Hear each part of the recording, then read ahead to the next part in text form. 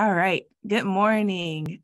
Thank you, everyone, for joining us um, to, for our 2022 Board Election Open Community Forum. My name is Joy Garrett, and I'm the Community Contribution Coordinator. And just a brief introduction we are hosting this um, open forum so that we can all get to know our board election candidates a little better. So first, I want to say thank you to our candidates for um, answering our blog questions, and those are still available for everyone to read. Um, they're very thoughtfully answered, so I hope that everyone takes the time to check those out. But we recognize that people uh, receive information in tons of different ways. So we wanted to provide an, um, a visual and an auditory opportunity um, for people to learn more about each of the candidates. So the first thing we're going to do is introduce ourselves. So our name, our pronouns, and then maybe a short bio. And that can include some information about your involvement at Drupal, professional background, or any of your community interest. Would anybody like to get us started? On my sure. screen, um, Adam is right next to me, so I'm going to pass it to you. uh, okay, well, John volunteered, but uh, I guess I'll jump in. So, oh, I'm uh, sorry, it's my internet. it's all good. I'm sorry, it's my internet connection. I didn't. all good. Uh, so, my name is Adam Bergstein. Uh, I've had a lot of different uh, roles in the broader Drupal community. Uh, I've contributed projects. Uh, I've worked at various companies that in different capacities that have you know used Drupal, contributed to Drupal, built products with Drupal, etc. Um, I've spoken at many community events, including DrupalCon. Um, and uh, I also, um, a few years ago, worked on a governance task force for uh, Drupal. Uh, and that was, I think, back in 2018, if I remember. Uh, so yeah, nice to be here. Awesome. Thank you, Adam. And we can pass it over to John. Hey, good morning. Um, my name is John Doyle. Um, my pronouns are he, him. And uh, a little bit about myself. I've been working in the Drupal community uh, mainly as a consumer of Drupal uh, for the last 12 or 13 years. Uh, started with Drupal 5, Drupal 6, and um, have really done uh, a whole wide spectrum of, uh, of, of work across enterprise, across small business, across um, uh, the community as well.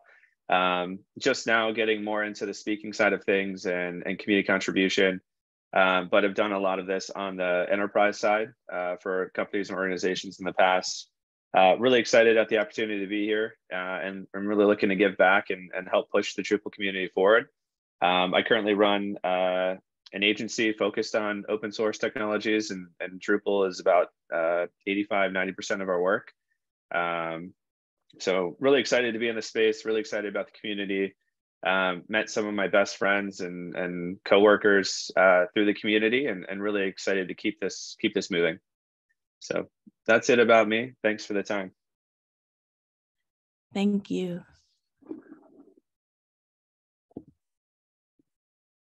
I'll go next. Um, my name is Mark Dorison. My uh, pronouns are he, him. Um, I've been involved in the Drupal community since 2008 is when I first started working with Drupal around the uh, Drupal 5 release of Drupal 6 timeframe. Uh, during that time, I've worked uh, as a developer, um, a contributor. Uh, I uh, am one of the partners and the CTO at Chromatic, which is a Drupal agency, previous, or not exclusively a Drupal agency, but uh, a big chunk of our work has always been and continues to be continues to involve Drupal in various capacities. And previous to that, I was you know worked uh, in the publishing space. And that's where I really got a ton of experience with Drupal and, um, and how Drupal um, shines with, uh, with tons of content. Uh, I have contributed um, to the Drupal community as a um, in code, core, contrib, uh, and I've also spoken and written about Drupal for uh, a large number of those years, including speaking at DrupalCon. Thank you.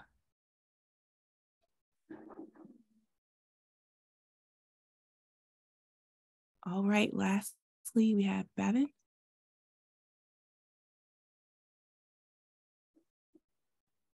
Hi, good afternoon. My name is Bhavin Joshi and I'm pronounced as he, him. I've been working with Drupal since 2007. I started with Drupal 5. It was fun uh, responding to Drupal forum since then, but since we moved to Drupal Slack, uh, now I'm working there, responding there. Uh, I'm a co-founder of Joshi Consultancy Services. We work with Drupal and uh, we also putting efforts in building local communities. Uh, everyone is working in with Drupal, but they are not aware of contributing back to Drupal. So we have been putting some efforts here and building local communities. Let's see how it goes. Thank you. Thank you everyone for sharing a little bit about yourself. Um, we're gonna jump into our Q&A portion.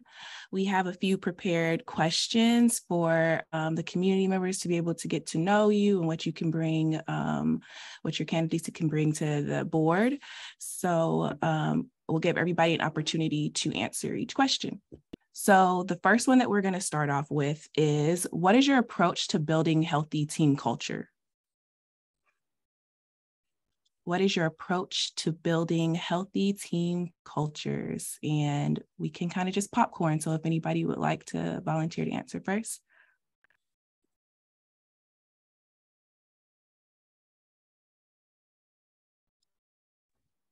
Uh, I guess I'll go. Um, I don't see anybody else uh, going yet. Um, so my approach to building a healthy team cultures probably, I, I think, really just starts with uh, listening and connecting with people. Uh, I think it's really important to have opportunities to get teams together to talk to them, whether it's Zoom or in person or whatever, uh, and uh, you know, open up um, ask you know questions have retrospectives talk through things uh, and observations that people see and understand.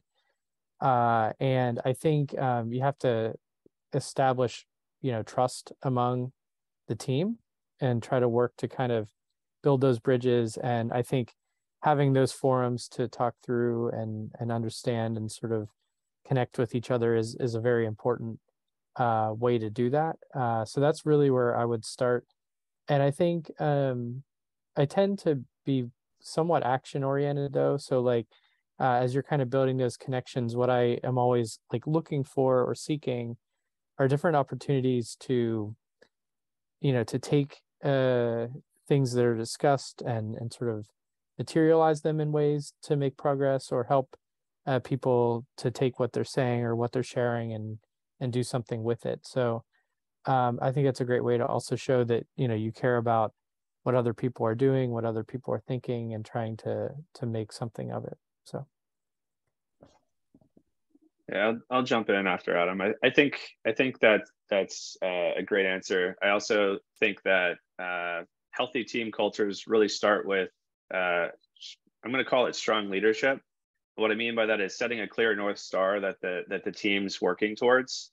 Um, and and to be clear, I don't mean uh, telling the team what to do, but making sure that everyone understands the combined mission of where we're going, so that you can enable the team uh, to kind of build the platform uh, to to get us there.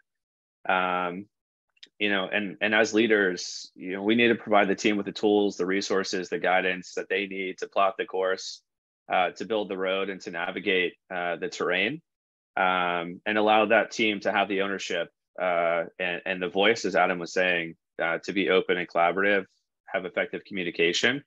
Um, but I, I, think you know, as as leaders, it's super important to kind of point the team uh, in the direction that they're going, so that there's this combined understanding of what we're working towards, and then provide the enablement uh, for the team to uh, to kind of self-organize and and drive that mission forward.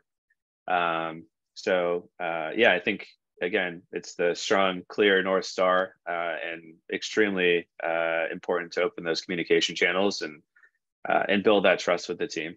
as Adam as Adam said. For me, uh, beyond some of the points that have already been shared, I think about how to create an environment that is uh, that feels collaborative for everyone on the team. Uh, I tend to um, uh, be relatively extroverted and uh, vocal about, you know, I, I get excited and uh, about, you know, solving some of these problems, but I want to make sure that um, my voice isn't overpowering others that, you know, are in the room, especially if, uh, you know, I'm in a, a, leadership role in the group. I want to make sure that uh, there's not, that there is an opportunity for for others to have the feeling that they can uh, bring their uh, ideas to the table and they're going to be evaluated and um, uh, considered and worked through, uh, and that it's not just an environment where, um, oh, well, this one person who is the leader or this one person who has been here a long time. Uh, it's just a, you know, that's what's going to um, be the direction.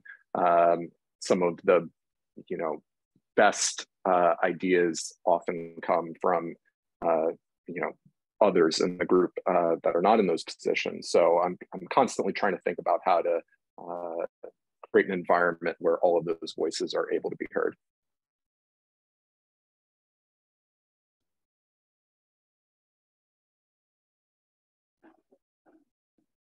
So yeah, uh, most of the points are already being covered, so I'm just going to add a few the foremost thing is uh, attacking the problem, not the individuals or anything else other than problem.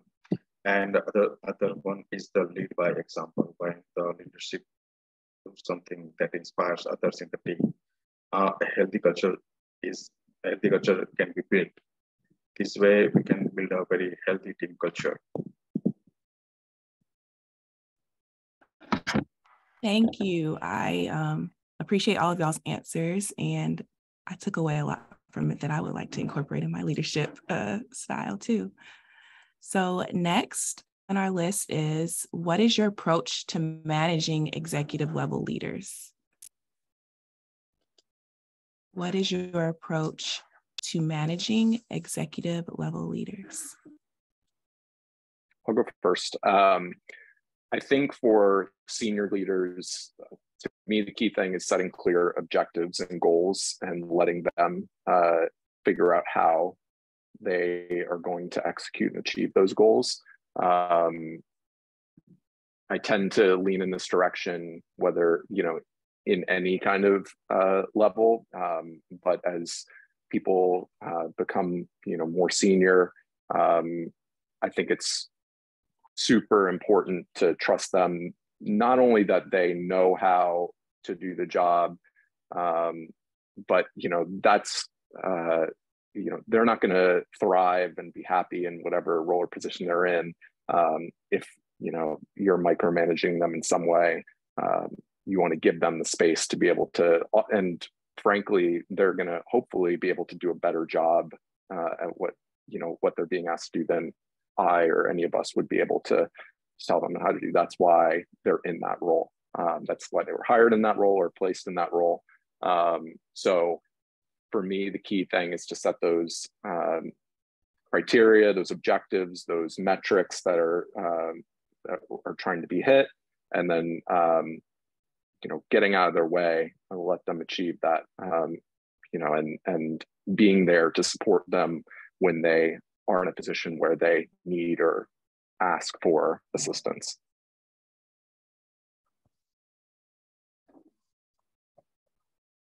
I can I can go next. Um, I think I think Mark hit it on the head. I think uh, you know managing senior leaders is not too different than managing anyone else, in in my opinion, except for um, you expect more from them, um, and you you trust them to uh, deliver what they've been hired for and complement uh, the rest of the leadership team um, and be clear leaders that that drive the mission forward. And I, I think a lot of the things that we said in building healthy team culture is important for managing senior leaders. It's setting the clear objective, setting the north star and where we're going, and giving them the tools and resources to be successful at their job, and opening the communication channels for them to raise concerns, to um, communicate how things are going, what their needs are, um, and if there's any blockers in the way, so that you know, as as a board or as other leaders, uh, you can support them in uh, getting unblocked or pushing them through or giving them the resources they need to be successful. Um, so, um, so yeah, I mean, I think that's the only thing I would add here. Um, so to what Mark already said. Going next, is it over? Yes, so other than setting clear goal, I believe that uh, having a regular one-to-one meeting as well as communicating regularly during the meeting and in writing helps uh, managing the executive level leaders well. And uh, this also allows them to grow individually as well as uh, uh give enough freedom uh, to perform the task at hand. Cool. I guess I'm last. Uh, so um, I think the the big thing that comes to mind is uh, trust for me, and I think uh, you can you know really uh, each person's different. So you have to work to build a good rapport, whether it's with an executive leader or with anyone else. Uh, but I think uh, what's also really important is uh, the use of time. Like I know executive leaders are often overseeing a lot, so you have to be very careful about not overcommitting them. Uh, asking really good questions, trying to understand why uh, there is a certain direction and and try to um, oversee that and go go through that uh, is super important uh, to make sure that you are using their time well. I think, and then also um, just ensuring that there's enough trust for you to execute on what an executive leader is looking for. Uh, I think is really important, uh, and I think um, always kind of building that trust is is the the key for that.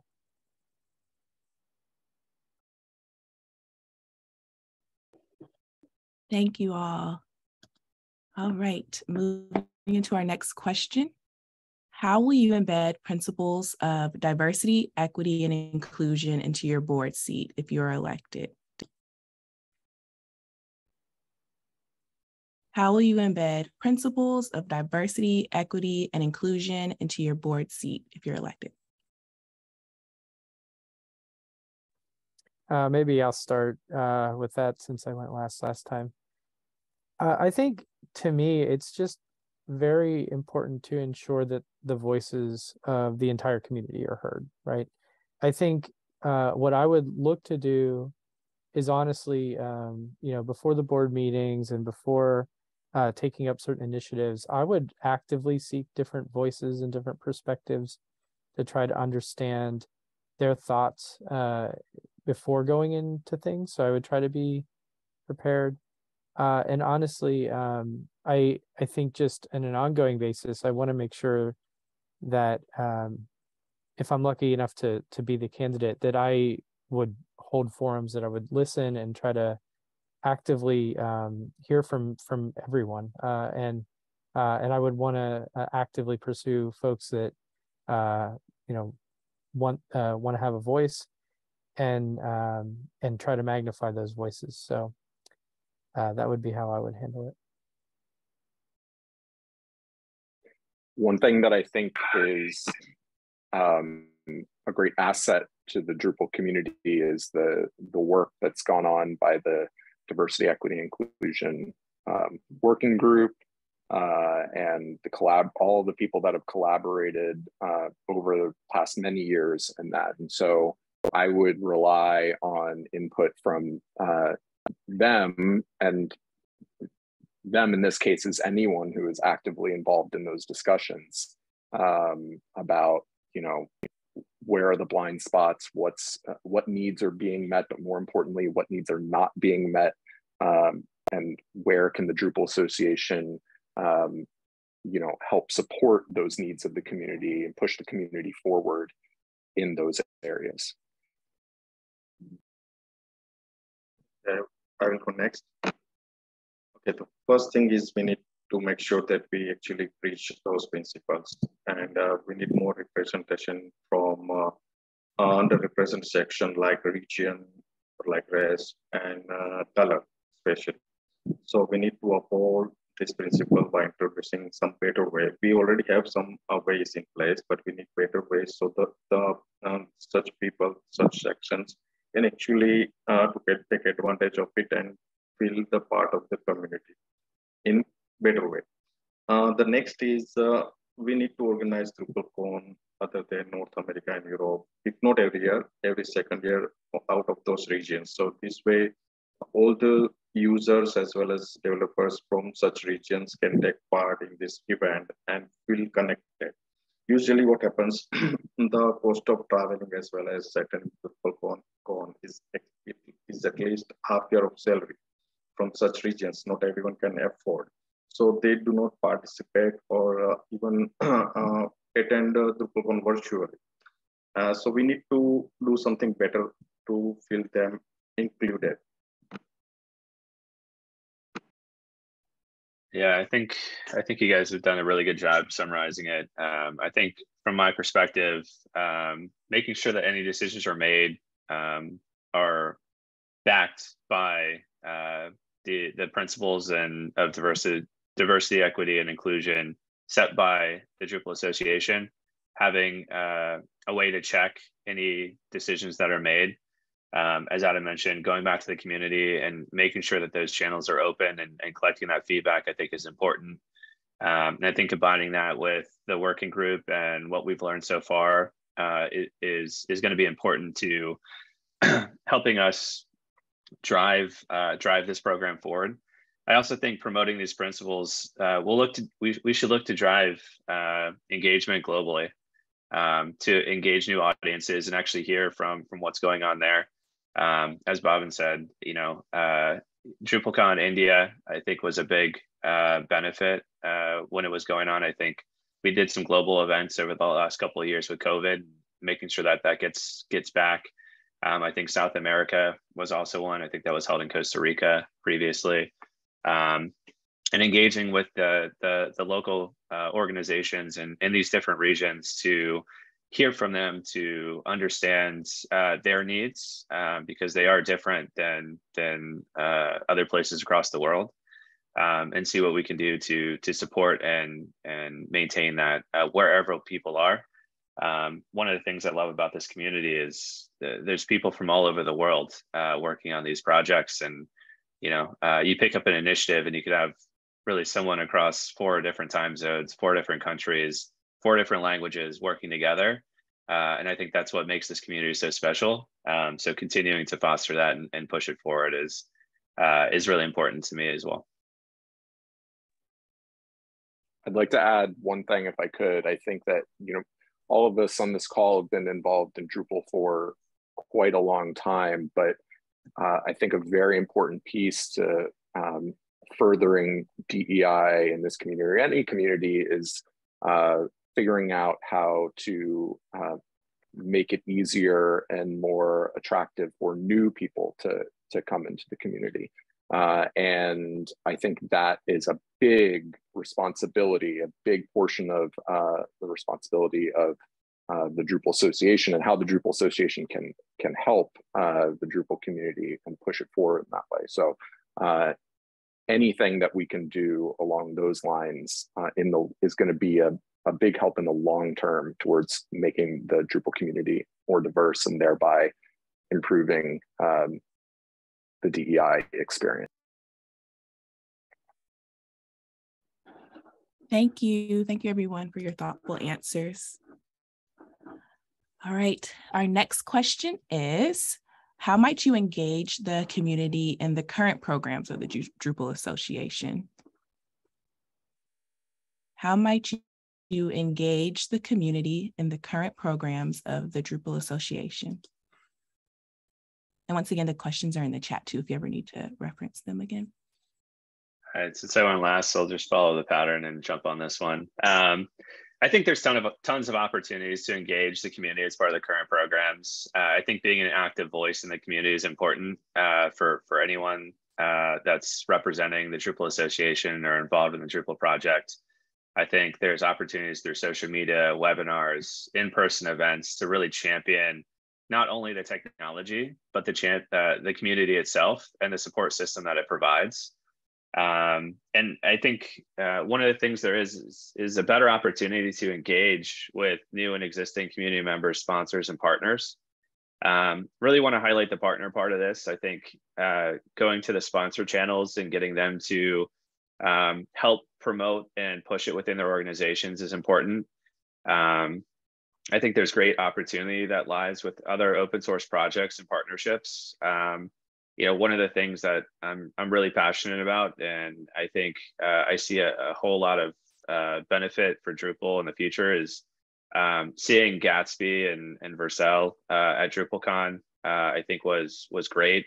Being able to engage with our partners for decoupled, for headless CMS, for the future of Drupal, um, to really enable our platform to engage with these newer platforms that is stealing market share of talent uh, is important and continuing to use the channels that we have right now to, to work with these different uh, partner organizations, other nonprofit uh, associations, and other open source platforms, uh, I think is is is key. Uh, in addition to our current community and sponsors, uh, to be pushing the ecosystem forward, and you know, I, I think it's about getting the word out there, getting the content out there, uh, making sure that we understand that yes, we've been in the community for a long time, uh, at least everyone on this call, but there's a lot of new people that have never experienced Drupal before and haven't worked with the platform and uh, continuing to push that message and, and make sure that there's content for all levels and not taking for granted that everyone knows what Drupal is and how powerful it is and what, what it can do and highlighting those case studies uh, and, and really just flooding the market with content about how great the platform is um, I think is uh, is one way that we can leverage the existing programs and channels that we have set up uh, to, to further this mission as we move into Drupal 10 and, and what the future uh, holds for us here.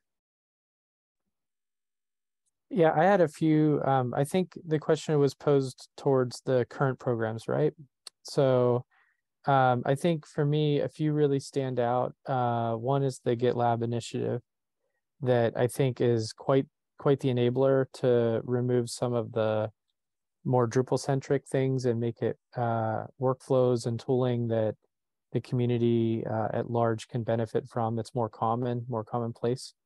Uh, I really like that. I also really like uh, the Discover Drupal initiative. I think that hits what John was talking about, about trying to position Drupal to tell its story. Uh, that's a, a, crucial thing, I think, to to helping uh, get new market for Drupal um, and and you know pitch our identity. Um, but the one I, I, would say I'm I'm really passionate about right now is I think it's a newer initiative and I forget the exact name of it, but there's uh, programs, training programs that are put in place with people that are outside of the community uh, that are uh, I think partnering with uh, DrupalEasy, if I remember, uh, to to help train new community members. Uh, and I think that's a great way to, um, you know, not only get new community members, but also to to show that kind of outreach of like what we really care about as an open source community, uh, which I think is about you know helping uh, people you know learn this this great skill and be able to do something with it in the future, and that can be a game changer for people's lives and and helping uh, do not only do great things in the community, but also, um, you know, be able to have a job and work and and provide for uh, themselves after that, which is is great.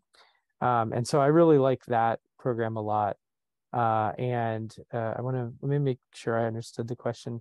How might you engage a community? So I I would just want to like you know maybe with the GitLab initiative, I would want to sit down and see, hey, is this working for you? Are there ways to improve it? You know, maybe get on a Zoom call and talk through it but also um, you know engaging the community around you know are there ways we can improve you know the training program and things of that nature or the ways that we need to tell uh, drupal's story better? I'd like to hear from people on that. You know uh, i have my own thoughts as well but um, i think just making sure that there's you know good communication between the community and these efforts i think is really critical uh, because these efforts can have significant impact and they already are uh, so I think it's important to continue that uh, conversation.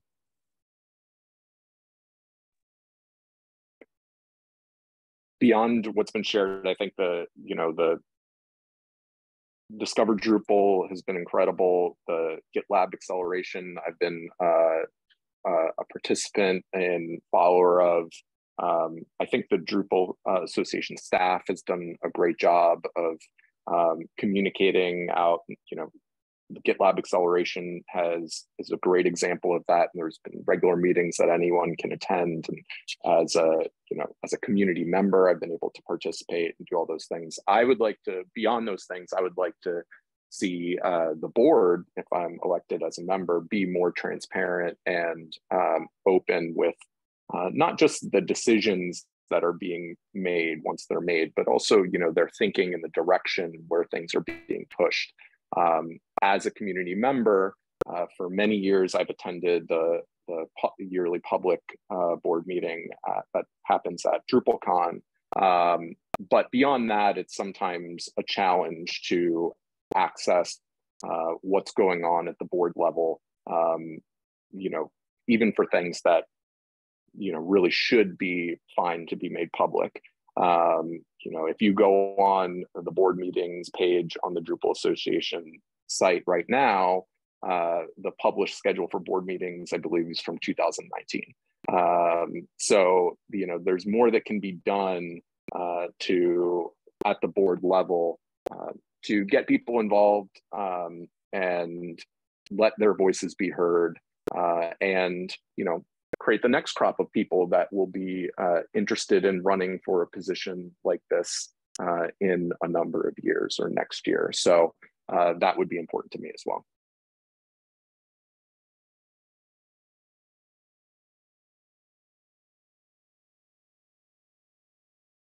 Okay, so it's my turn, right? Okay, so uh, I'm from India, so I will talk about India. Uh, here we have uh, lots of developers, companies are working on Drupal. And the percentage uh, who, who are actually contributing back to Drupal is not even 5% of all the remaining. So we need to we need to do something that uh, those organizations as well as those developers are encouraged and motivated to contribute back to Drupal. And uh, frankly speaking, they, are, they have no idea that, that they can contribute back to. So we have to uh, do something uh, such that they get awareness about this and actually engage with the community. They do not even post in Drupal forums or even respond to Drupal forum questions. They just uh, consume whatever is being presented to them from Drupal.org. So we have to put some efforts such that uh, those remaining people, developers, as well as organizations take part in all the initiatives and programs. Yeah, you just mentioned about the, the that program, but uh, no one knows uh, about that program here. So we have to do something about this.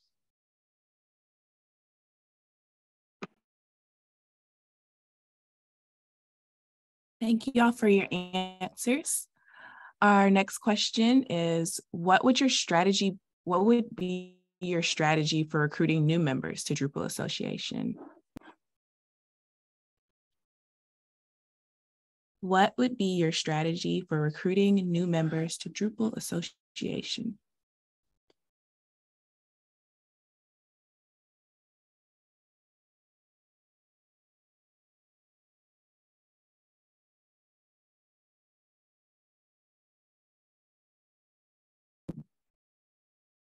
I'm not very much aware about uh, operation uh, at the DA, but from my experience, I can say that uh, we need to find the person who is best fit for the particular task or job.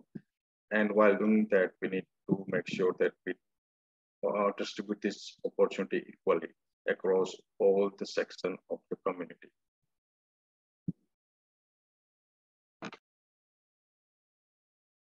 Um, I, I think the approach here would be similar to the approach for engaging in some of the existing programs and helping uh, grow the voice of Drupal and the association and what Drupal stands for. Um, I think it really is about uh, informing people of what we're great at, what Drupal can provide. Uh, we're not just another CMS uh, that's out there that um, can build websites. We're a platform for engagement, for uh, bringing in community members, for uh, integrating with other frameworks and platforms, and we make it easy and we support our community to do it. Um, like I said earlier, I think a lot of talent market share is going to more JavaScript frameworks, and people think it's uh, newer and uh, and more fun uh, to work on. I mean, I hear that from people in the community all the time. They're they're looking to get into React and, and play with these frameworks. And I think the more we can do about um, again enabling us as a platform that works alongside those that easily integrates with these platforms that uh, is something that they can work on with these platforms, uh, I think is going to be beneficial. Um, and I think there's opportunity to continue growing the footprint of Drupal, getting people excited about it. Um, and I think what we need to do here is not just focus on the traditional CMS part. Um, I think the Site Builder initiative is great. I think it's going to support uh, the future of the content management space. I think we need to get there. Um, I think we need to put uh, as much weight on the headless version of this for the integrations with the partners and with these JavaScript frameworks that people want to work with. Um, and I think there's opportunities to engage other open source uh, pro projects here um, and work with other other projects to uh, further the footprint of both uh, uh, technologies and work together in this ecosystem um, you know, at the end of the day, we're all passionate about open source. We want to push Drupal and we want to support the platform. Um, and I think we can do that by uh, attracting talent and building programs that get people excited about it. Um, and you know, something I've seen a lot less of is is organized training. And I think Adam mentioned the DrupalEasy program. I think that's really important. I think uh, I know some of uh, people in my network have been doing speaking at uh, universities, especially in India, um, to try to get new um, new students interested in exposure to the platform. And I think uh, there's other uh, industries doing this uh, with with other platforms. And I think if if we really want to be serious about attracting new talent to the ecosystem, we need to look at supporting supporting these engagements to go out and actually do trainings at universities, get people exposure to these technologies when they're coming out of school. So they're looking for jobs uh, that are relevant to Drupal, not just uh, React and you know uh, uh these other frameworks. Um, you know, PHP might might be falling behind a bit compared to that, and just making sure people understand the power uh, of of the platforms and what they can provide and how the community is supporting them. Uh, I think it's going to be really important moving forward uh, for recruitment. Um, I wanted to go back. Uh, sorry, Mark. Um, I actually wanted to go back to what Mark had shared a little bit earlier, which is around transparency of like the Drupal Association, the board, and and where things are going. I think that's a great way to um, get people excited about you know what the Drupal Association is doing and and uh, becoming a member of it to help support that um, I think they, uh, and I also think it's important that uh, the DA continues to advocate for the the value that it is adding, like the programs that are going on right now, which I think are super important. Um, and uh, I think the community will continue to support the DA, and even that will grow.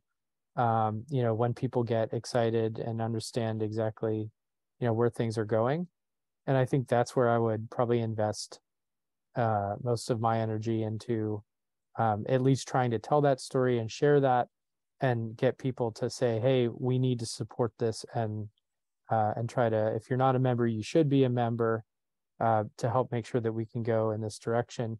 But hopefully that would be informed by you know what community members are excited about and they would be more inclined to to want to sign up. So. I think um, an interesting part of this conversation is, you know, and probably outside the scope of this here, but an important job for the Drupal Association is to uh, do a good job of making clear to the community where the responsibilities of the Drupal Association end and where and where the responsibilities of the community begin and, and what is that line? I don't know that it's, I think that's been a challenge for a long time, especially as new people are coming into the community. It's not uh, always clear what that delineation is. When we're talking about driving uh, more membership and engagement with the Drupal Association specifically, um, you know, I think essentially in most cases, what we're doing is we're asking we're asking for some their money, uh, and uh, that's very important to the Drupal Association because um, a huge percentage of the Drupal Association's revenue comes from events in DrupalCon North America specifically. So, you know, what we saw a couple years ago with COVID was when DrupalCon North America didn't happen, it was a true crisis for the Drupal Association financially. Um, there was, uh, you know, a question of whether the Drupal Association would be able to survive that moment.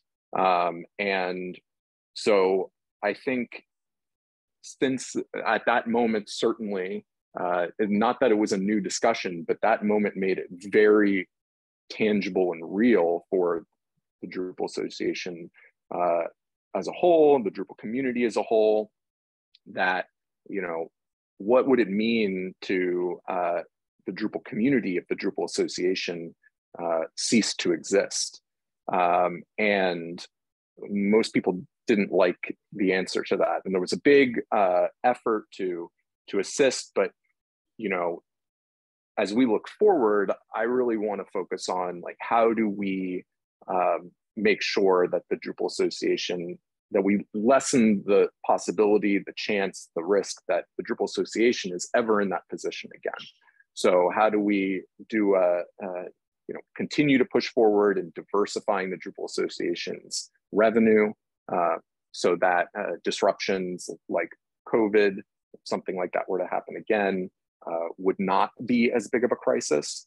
Um, and you know how do we look at um, in the, the, ways that the Drupal Association is spending uh, their dollars and uh, you know to make sure that they're the you know being spent in the ways that are making the biggest impact pos- uh, possible for the Drupal community. Um, so for driving individual memberships, we're asking for people's dollars. Uh, how do we make sure that we're showing that we are delivering them value, uh, that the Drupal Association um, is delivering the community value and them value specifically, so they're able to say it's a no-brainer for me to renew my uh, Drupal Association membership. Like I get way more value out of this. The community gets way more value out of this uh, than what I'm being asked to contribute. Thank you, everyone. And Mark, that's a good segue into our last um, question. What is your approach to nonprofit fundraising and philanthropy? What is your approach to nonprofit fundraising and philanthropy?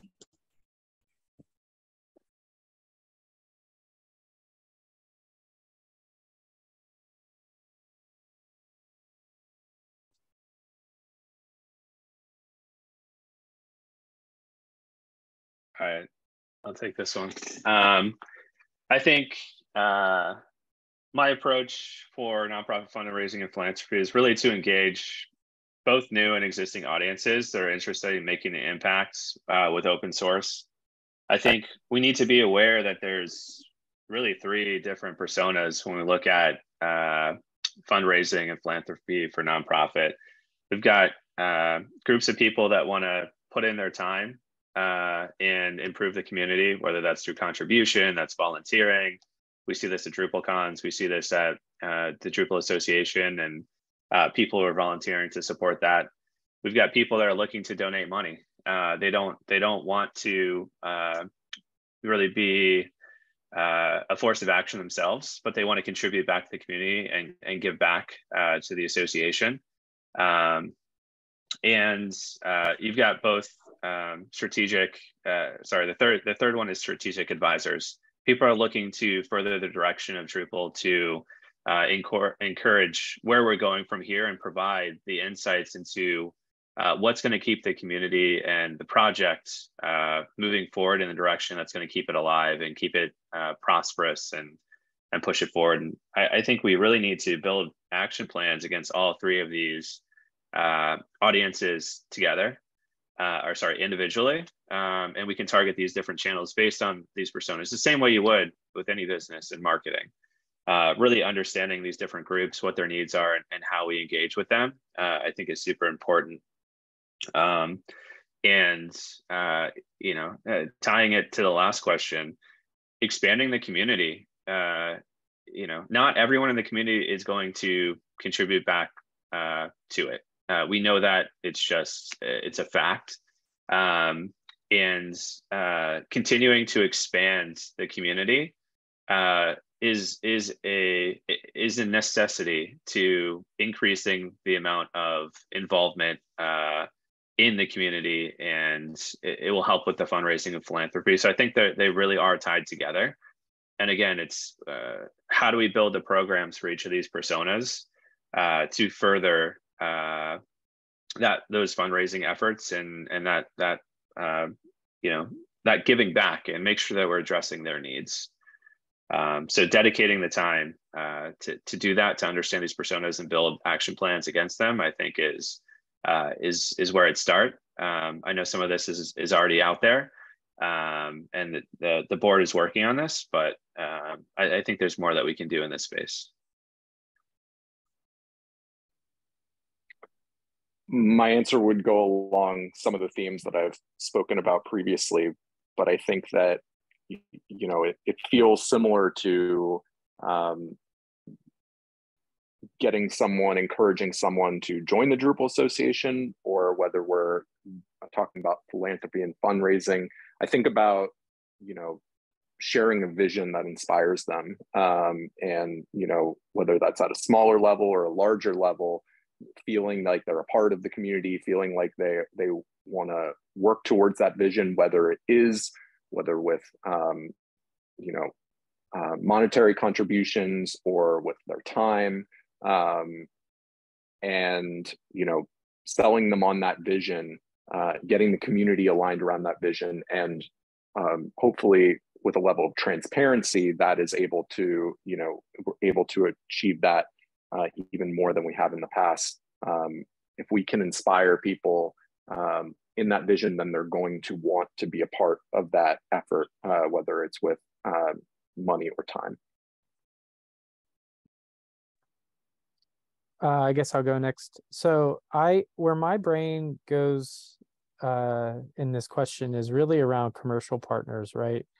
There's a whole um, space of you know community members, and I think they already are. You know, they already do have memberships uh, some people have reasons why they don't want a membership. We should try to to continue to promote that. But I think the real opportunity is around commercial partners that are using Drupal or have adopted Drupal or you know are uh, there. There's that blog post, the makers and the takers, right? And uh, the makers are often the contributors, and they're the ones that are involved in speaking and whatnot. Uh, and the takers tend to be there's some very very large uh, commercial entities that are uh, using Drupal, right? And I think there's a very real opportunity to try to engage them uh, in strategic ways to not only raise funds, but to help um, ensure they're aware of their responsibility for keeping the community and, and the Drupal Association afloat. Um, and it needs to be, you know, uh, an incentive for them as well. So there should be some benefit to that and i think that's the space of what i would want to dig into is how to raise funds in that regard and how to um, you know drive um, more goodwill coming from from that side of uh, the community I'll go next. Uh, the foremost thing is uh, we streamline the donation as well as membership uh, uh process uh, further. It is easier now, but we can make it further easier by introducing some tweaks and offering less fields when filing the form. Other than that, we can ask our partners and members to put a link in their website footer asking whether you are if you are benefited from this Drupal project, please consider donating or becoming a member. And the third one is we need to put a very visible link somewhere on the Drupal.org website where it clearly says donate or become a member. Right now, we don't have it, uh, not have it on the website. So sometimes members get, uh, users get confused and they actually do not do anything.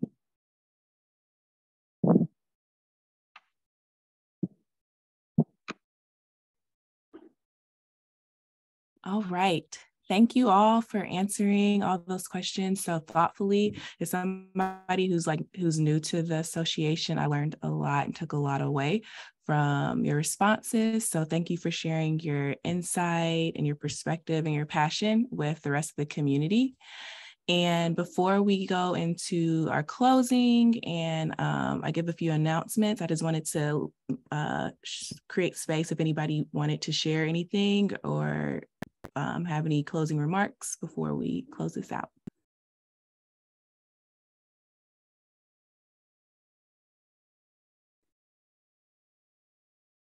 All right.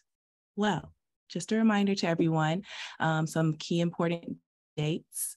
Um, in order to be able to vote, you have to be an active Drupal Association member, and that has to be 24 hours before voting begins. So that happens to fall in zero 100 UTC on September 20th.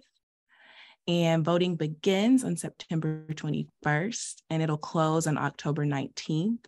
After voting closes, the board will ratify um, between October 20th and the 31st, and then we're going to announce the new board member on November 1st. So please make sure that your uh, membership is active, and um, we'll be sending out more information when voting begins thank you all for um, for being with us and being present in this time and looking forward to connecting with you all later. Thank you. Thanks so much. Thanks for hosting. Thanks, Joy. Thanks, everyone.